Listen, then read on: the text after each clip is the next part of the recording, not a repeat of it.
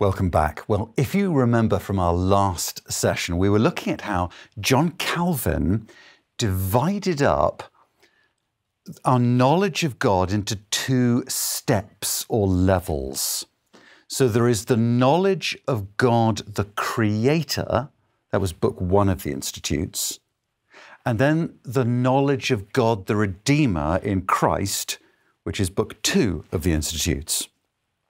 And to be clear, Calvin didn't think it was acceptable or possible for Christians to stop with the knowledge of God the Creator.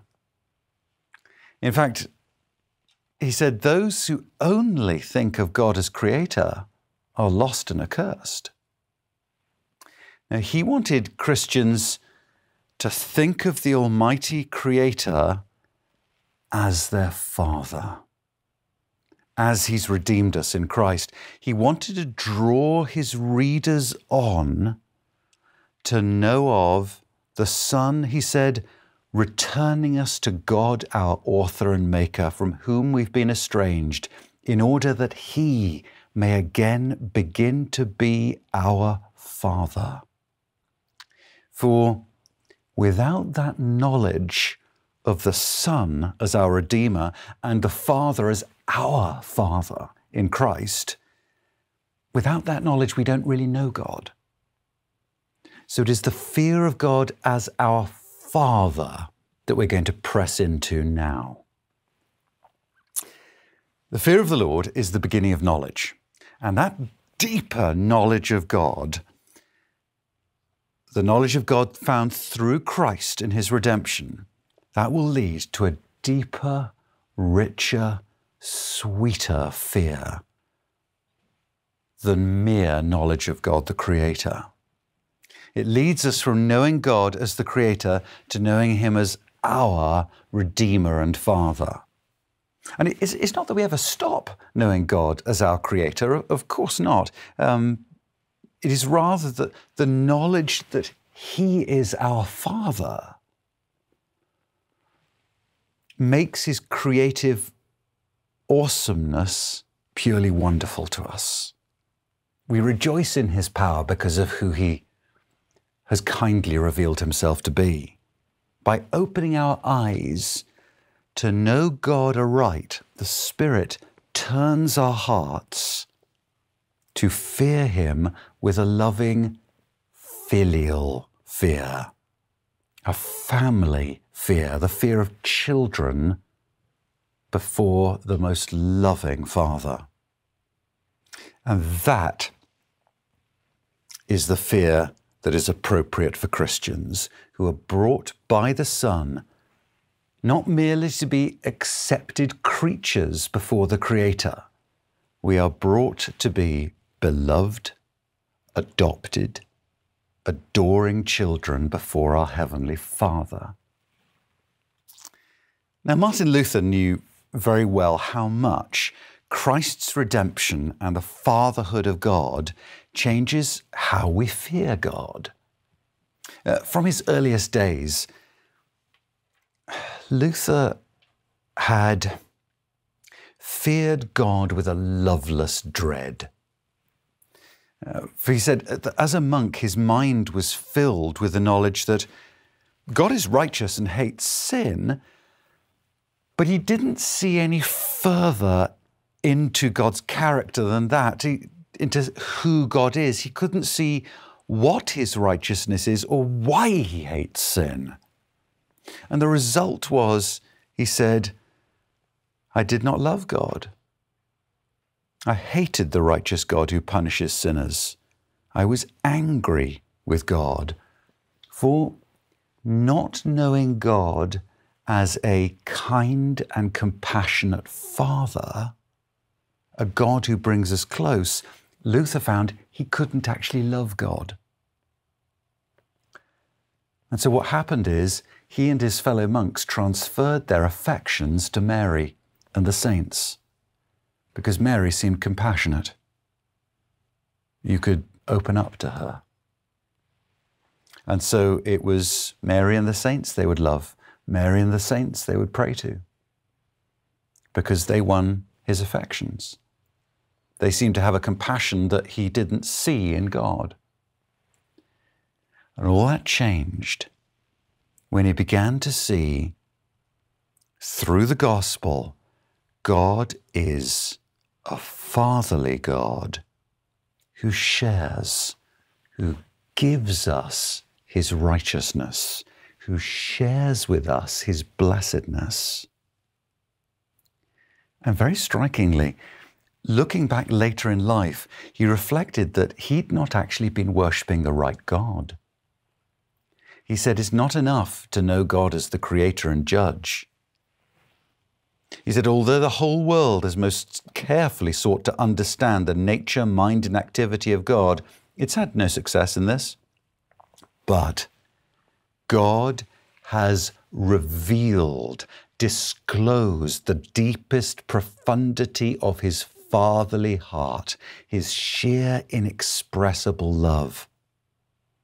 He said, We were totally unable to come to a recognition of the Father's favor and grace except through the Lord Christ, who is a mirroring image of the Father's heart. Without Christ, we see nothing in God but an angry and terrible judge. Without Christ, all we see is an angry and terrible judge. Through sending his Son to bring us back to himself, God, Luther saw, had revealed himself to be fatherly. And what Luther found was not only does that give great assurance and joy, it actually wins our hearts to him. For he said, we may look into his fatherly heart and sense how boundlessly he loves us. That would warm our hearts, setting them aglow with thankfulness. He saw that in the salvation of this God, we see a God we can actually wholeheartedly love, adore. Through his redemption, fear, our fear, is transformed from a trembling, slavish terror to a trembling, filial wonder. That's how redemption changes our fear. And it's worth mentioning Luther when coming to grips with this filial, childlike fear, because you need a robust understanding of justification by faith alone if you're to enjoy a right fear of God. Because a right fear has to rest wholly upon Christ's redemption as sufficient. It can't rest on our own works. A right fear won't be left wondering if our sins might outweigh Christ's redemption, or if Christ's righteousness needs some topping up by my own efforts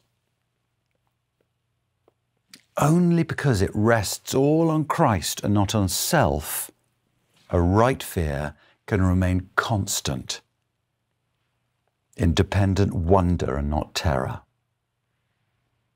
Indeed, its wonder is only increased by the perfection of Christ's redemption, the infinity of his grace towards such extreme sinners as us. So, the right fear we're brought to is a filial fear. But to understand aright the filial fear believers have, we need to be clear it is Jesus' own filial fear that we are brought to share. Luke's Gospel tells us that as the boy Jesus grew, he increased in wisdom and stature. That's Luke 2 52. He increased in wisdom. Now, Proverbs 9 tells us the fear of the Lord is the beginning of wisdom. So he could not have grown in wisdom without the fear of the Lord. He couldn't have done it. He is the Spirit anointed Christ who Isaiah prophesied would come forth from the stump of Jesse. Do you remember? And the Spirit of the Lord shall rest on him the Spirit of wisdom and understanding, the Spirit of counsel and might, the Spirit of knowledge and of the fear of the Lord. And his delight shall be in the fear of the Lord. Isaiah prophesied. Christ's delight, the Spirit anointed one, the spirit of the fear of the Lord is on him, so that his delight is in the fear of the Lord. And God's great purpose in salvation was that the Son might be the firstborn among many brothers, that the Son might share his sonship, bringing us with him before the one that we can now enjoy as our Father. And it means believers share the Son's standing before the Father, the Son's status before the Father, and we share the Son's own delight in his fear of his Father. And this filial fear is part of the Son's pleasurable, it is his delight, pleasurable adoration of his Father. Indeed, it is the emotional extremity of that wonder. The fear that he has is not the dread of a sinner before a holy judge. It is not the awe of a creature before his creator. What he, he has and what he shares with us is the overwhelmed devotion of a child marveling at the kindness and glory and complete magnificence of his Father. And that is why the right fear of the Lord is not at all the same thing as being afraid of God. The Son had no need to fear for himself being separated from his Father's gracious presence, except when he hung in our place on the cross. And just so the adopted children of God don't need to fear in that way. If there is any fear of separation from God in believers, it's not the fear of being ultimately separated. The only fear we would have in that sense would be that our sins might part us from the warmth of enjoyed communion with God. That's what we don't want to be parted from. The union can't be broken. We just don't want the warmth of communion to be cooled or fractured. The fear we're given is not the fear of what we might lose. It is the appreciation of God's character so that we hate sin, so that we long to be Christ like. In other words, the filial fear that the Son shares with us is quite different to the sinner's dread of God and dread of punishment. The right fear is an adoration of God that dreads sin itself, not just its punishment, because it's come to treasure God and so loathe all that is ungodly. Now, having a right knowledge of God is inextricably bound up with having a right fear of God. Uh, those who don't have any knowledge of God as a merciful Redeemer and compassionate Father just will not have that truly filial fear. At the best, they'll tremble at his transcendent awesomeness as creator. At worst, they'll only shudder at the thought that there is a righteous judge in heaven, and they'll hate him in their hearts. But those who know that God's holiness is not just his separateness from us sinners in his righteousness, is not just his separateness from uh, us creatures being creator. His holiness is the absolute incomparability of His grace, mercy, and kindness. If you see that, you see the completeness of the beauty of holiness. You see the most glory. Those, the saints, who see that, the glory of the Redeemer, they see the glory of the cross, the glory of a loving Saviour, the glory of a mighty but humble God who's not ashamed to call us his Father. They can be amazed at a gracious Redeemer, like those who ran to Jesus in the Gospels, astonished at all that Jesus had done for them.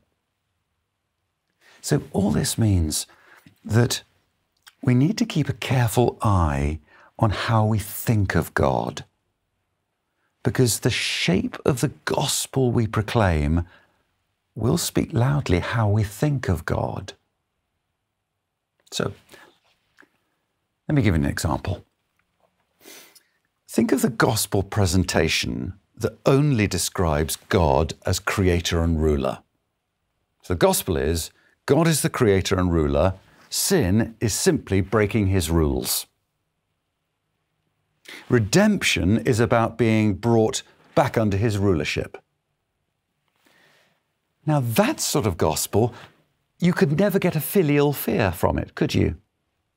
Because there's been no mention of God's fatherhood or adoption in the Son. So, how could you be given the fear of a child before a father? That was never mentioned in that gospel. Such a gospel can only leave people with a fear of the Creator. So there were true words spoken in it, but it wasn't complete. Only when we're resolutely Christ centered can we tell a richer, truer gospel. Only then does the story make sense that our sin is a deeper matter than mere disobedience. It is a relational matter of our hearts loving the wrong. Only then will we speak of God the Father sending forth his Son, that he might bring us as children into his family. And only that Christ centered gospel can draw people to share Jesus' filial fear. We have to tell the gospel of the Father sending his Son to adopt us as children, or people will not enjoy that filial fear. And the issue is sharpest when we touch on the question of our fear of God. When Christian teachers know the importance of the theme of Scripture, but misunderstand the right fear of God as nothing but the fear of the Creator, they'll rob believers of their filial fear. You know, it's very easy to point to God's grandeur as creator, which is right to do, but then fail to point to the gospel and God's grandeur as a compassionate savior. And a telltale of the teaching that's only done one but not the other is that it will lack the Saviour's compassion. It will often come across as angry, hectoring, unkind. God may appear great, but he will not appear good. So, the two steps that Calvin argued for in our knowledge of God need to be observed if people are to fear God aright. The knowledge of God, the marvelous Creator, and the knowledge of God, the merciful Redeemer in Christ. You need both. For those who know God as Father can have a deeper enjoyment and fear of God as the omnipotent Creator and righteous Judge. But those who only know Him as Creator can never enjoy His redeeming loveliness. If you know Him as Redeemer, you fear Him as both Creator and Redeemer. If you only know Him as Creator, you don't know Him truly at all. So, see, for example, how Charles Spurgeon's filial fear of his father enriched his wonder at the awesomeness of God as creator. So, in great contrast to the young, um, unregenerate then Martin Luther, Martin Luther, who screamed with fear at the lightning of a summer storm, Spurgeon said this. Very different to the young Luther. Spurgeon said, I love the lightnings. God's thunder is my delight. Men, he said, are by nature afraid of the heavens. The superstitious dread the signs in the sky, and even the bravest spirit is sometimes made to tremble when the firmament is ablaze with lightning, and the pealing thunder seems to make the vast concave of heaven to tremble and to reverberate. But I always feel ashamed to keep indoors when the thunder shakes the solid earth and the lightnings flash like arrows from the sky. For then, God is abroad. And I love to walk out in some wide space and look up and mark the opening gates of heaven as the lightning reveals far beyond and enables me to gaze into the unseen. He said, I like to hear my heavenly Father's voice in the thunder. He could relish the transcendence and creative power of God with a trembling pleasure because he saw them as the transcendence and power, not just of a righteous creator, but of a loving Father. He loved the Creator more for being his Father. The wonders of creation are best enjoyed by the self conscious children of God. Lightnings, mountains, stars, wild oceans, they're all more marvelous to those who see them all as the creatures of their majestic and gracious Father. Thank you.